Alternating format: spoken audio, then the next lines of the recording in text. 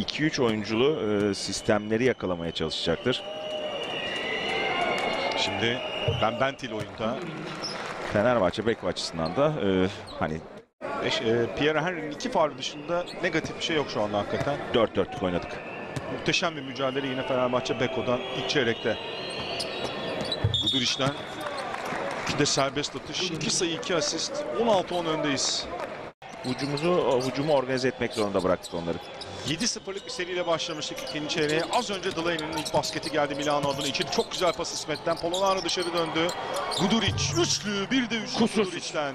Beşinci sayısı, dört asist. Marco Guduric'den. Yine kapanan savunmaya karşı dışarı çıkan bir pozisyon. Karşısında Devon Hall var. Guduric'in 5 sayısı 4 asisti var. Son 6,5 dakika ilk yarıda. Dechampierre'in perdesi. Guduric içeri penetreyi buldu. Marco Vay, Guduric. vay, vay. Muazzam oynuyor Marco Guduric. Geçen sene geldiğindeki, geldiğindeki o performansının neredeyse üzerinde. Marco Guduric karşısında Devon var. Devon Booker oyunu alacak. Djordjevic. Nikola Melli baskıyı yaptı. Fizikselliği arttırmaya başladı Milano bu savunmada. Marco Guduric tepede Melli ile birebir. Guduric içeri girdi. Guduric Yine ayağını koydu basket araya. faulü aradı. Temas da geldi ama basket var. Marco Guduric'den. Bu sayı önemliydi. Guduric yine takım lideri olarak e, maçın hikayesinde toparlayıcı hamleyi yapan oyuncu oldu. Böyle olunca da Guduric ya da Dechampierre'in direksiyona geçmesi daha kolay oluyor. Şimdi Guduric karşısına Melli'yi aldı yine. Guduric teması Basket aldı. faul. Basket faul. Melli'ye karşı bütün birebirleri aldı Marco Guduric. Tamamlayıcı özelliği çok önemliydi ki müthiş bir seri yakalamıştı hakikaten. Ya, O Caner, görüntüye tekrar kavuşması çok önemli. bu dakikada yani takımın yıldızları yokken ben buradayım diyerek o liderliği. Ki o konuda daha çekimsel tamamlaması e, çok etkileyici. Çok etkileyici. Muhteşem oynuyor bugün şu ana kadar. 12 sayı 6 asist. Guduric'den.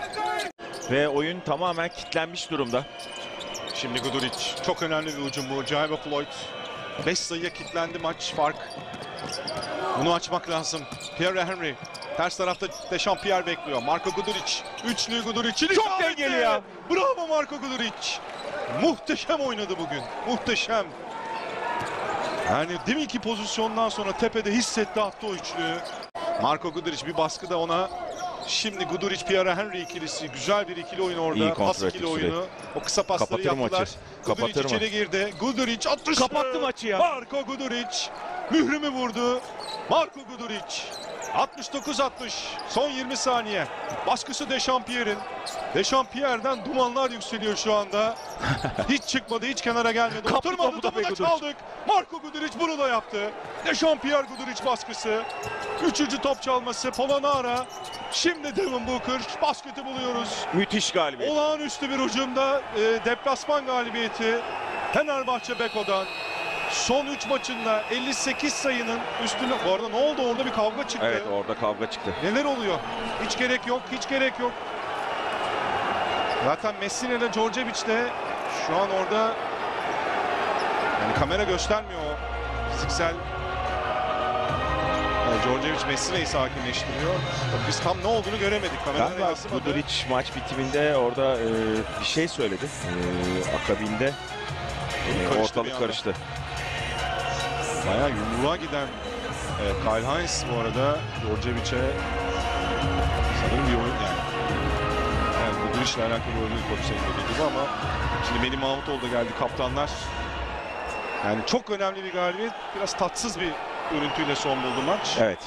Tam göremedik e, ama yine de e, hani galibiyeti gölgelememek gerekiyor. 60 sayıda tuttuk Milano'yu. Son 3 maçını rakiplerini maksimum 58 sayı yiyen Milano'yu 60 sayıda tuttuk.